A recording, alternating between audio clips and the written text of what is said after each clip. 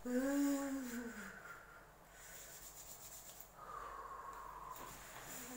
sekali di tempat ini.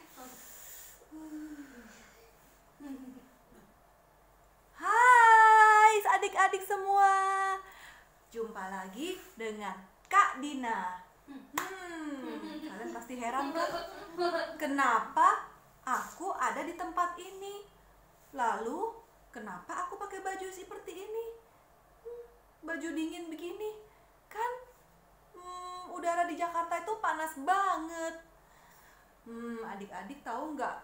Kak Dina sedang tidak lagi di Jakarta.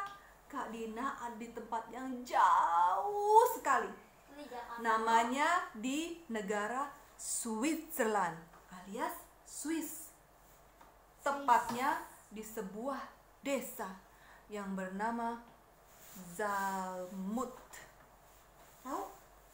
Nah, Kak Dina mau sedikit cerita tentang desa Zalmut ini karena konon dulu ada seekor binatang yang sangat menyeramkan. Saya tebak nggak binatang apa itu? Saya tahu. Segala. Salah. Hmm, belum tahu kan? Buaya. Salah. Dengerin ya. Jadi suatu hari di musim dingin yang begitu dingin, ya. Suasana menjadi tambah dingin dan mencekam karena terdengar suara langkah binatang yang berat. Bum, bum, bum. Lalu binatang itu mengaum dengan begitu kerasnya.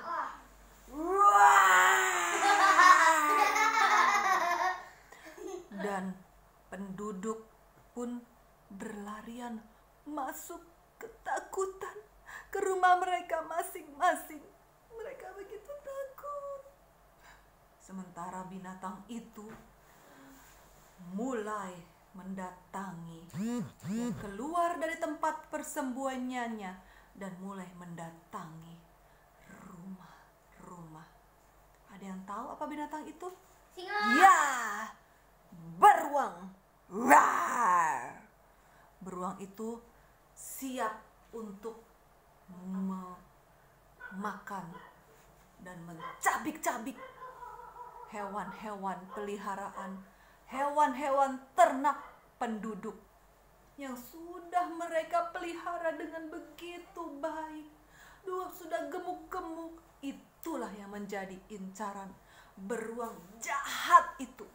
Yang harus dibunuh dan anak-anaknya Diam, dibunuh. diam, diam. Ya. Lalu dia sudah mengincar satu rumah. Rumah itu adalah peternakan. Peternakan di mana ada banyak hewan-hewan yang menjadi masakan makanan kesukaan dia. Ada ayam, ada kelinci, ada kambing, domba, dan makanan kesukaannya tahu nggak apa? Apa? Babi yang gemuk. Hmm. Dia berjalan dengan langkahnya yang berat. Bum, Rar. Penduduk begitu ketakutan, ketakutan. Mereka bersembunyi di dalam rumah mereka masing-masing. Ham. Tadi apa? Mereka bersembunyi dan pada saat beruang itu mau mencapai satu rumah, tiba-tiba terdengar teriakan, "Berhenti!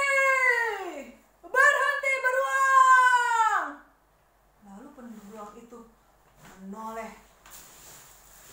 Dia berpikir, "Siapa itu yang berani meneriaki aku?" Berhenti! Hai, beruang, berhentilah memakan binatang di desa ini.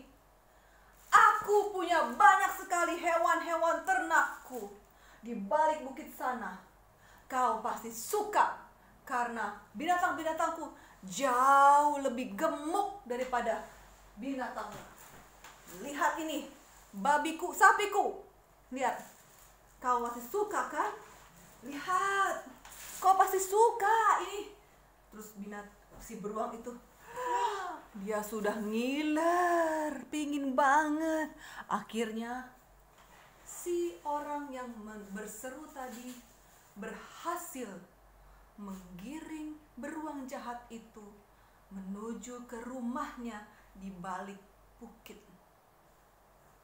Dialah seorang petani pemberani. Kalian tahu, sejak saat itu Hai. tidak ada lagi binatang jahat, beruang jahat yang mengganggu desa desa Zalmut. Ah, Akhirnya tahun berganti tahun, bulan berganti, oh sorry, hari berganti hari, bulan berganti bulan, dan minggu berganti minggu. Desa ini sekarang menjadi desa yang tenang, desa yang nyaman, desa yang aman.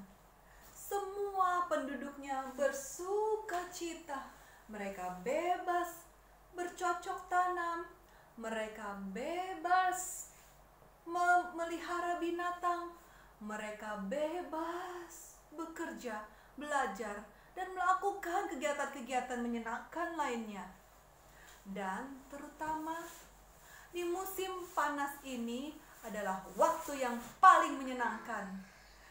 Para petani-petani siap memanen hasil panenannya, lalu mereka mengadakan pesta, pesta pora besar-besaran. Semuanya bersenang-senang, bersenang-senang dan bersenang-senang. Ya, ini adalah musim panas, musim panen. Sama. Senangnya. Mama juga mau masuk nih. Tapi di tengah pesta itu datang seorang kakek tua. Coba ya. Eh, eh, permisi. Eh, permisi. Eh, bolehkah aku meminta sedikit saja makanan. Anak perutku lapar. Perutku lapar sekali. Lalu si penduduk desa salah satu penduduk desa itu yang tidak tahu siapa orang asing ini. Siapa orang ini kakek tua ini yang berani-beraninya meminta makanan dari kita kami tidak mengenal dia. Siapa orang ini? Orang ini tidak pernah datang ke desa ini sebelumnya. Aku tidak kenal. Maaf ya, Kek. Maaf. Silakan cari di tempat lain. Ini adalah hasil panen kami, hasil kerja keras kami, dan kami ingin menikmatinya.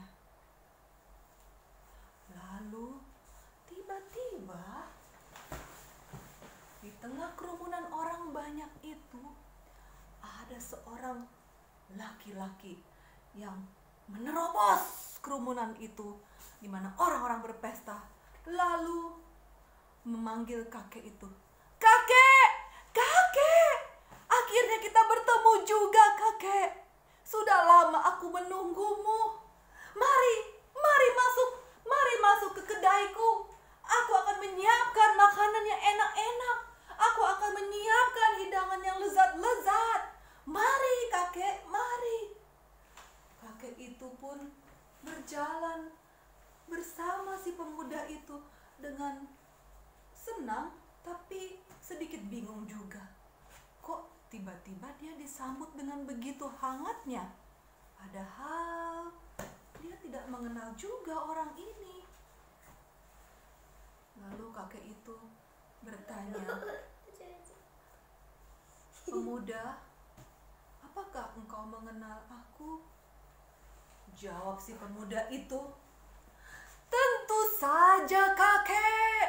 Hai, hai teman-teman, tamu tamu-tamuku sekalian yang berada di kedaiku ini.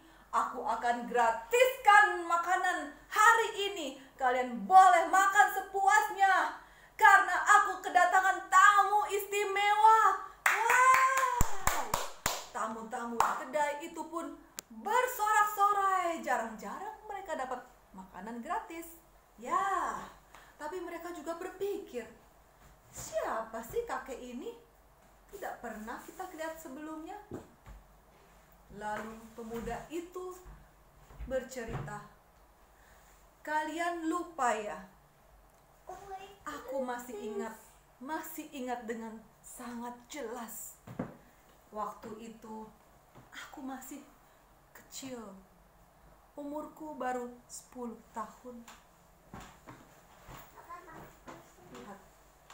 Ini aku waktu masih kecil. Aku aku bersembunyi.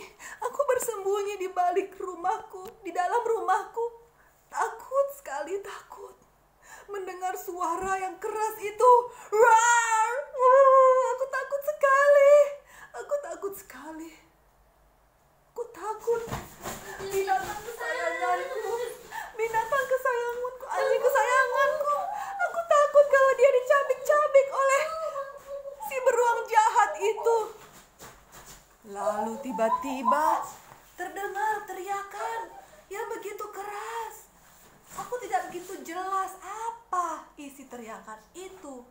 Yang aku tahu, orang yang berteriak itu berhasil membawa binatang jahat itu, beruang jahat itu pergi keluar dari desa ini dan tidak pernah kembali selama-lamanya.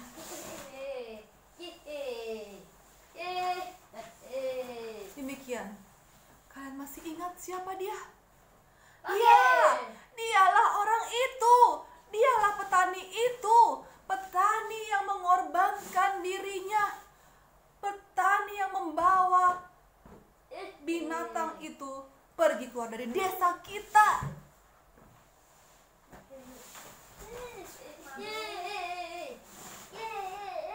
Betul, nak. Betul. Itulah aku. Aku terharu kau masih mengingat aku. Memang binatang itu, beruang itu sudah berhasil aku giring keluar dari desa kalian, masuk ke dalam rumahku. Aku memiliki banyak sekali binatang ternak, tapi aku relakan semuanya itu menjadi santapan beruang satu demi satu. Binatangku pun habis, tapi tidak apa-apa.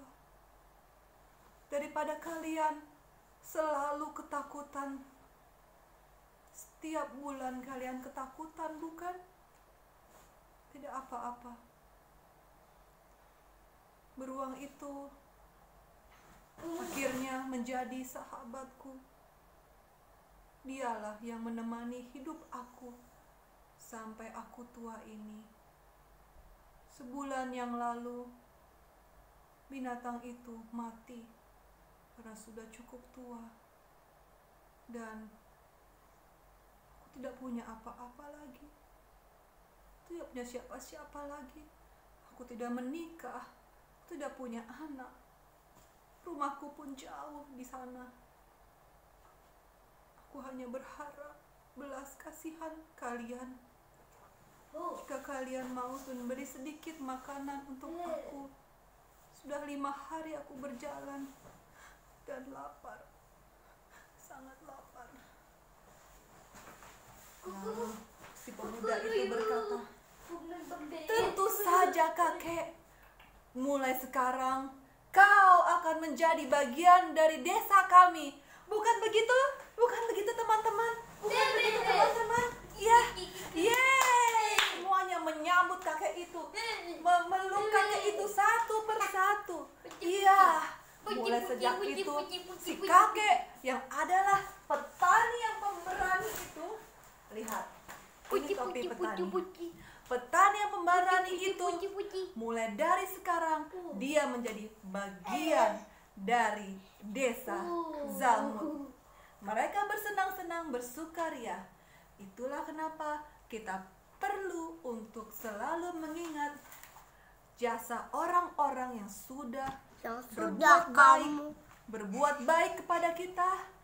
Kita ingat juga, jangan pernah jemu-jemu berbuat baik. Jangan takut untuk berkorban. Suatu hari pasti ada yang akan menghargai jasamu. Sampai jumpa teman-teman, adik-adik semua. Salam dari Kak Dina. Dah.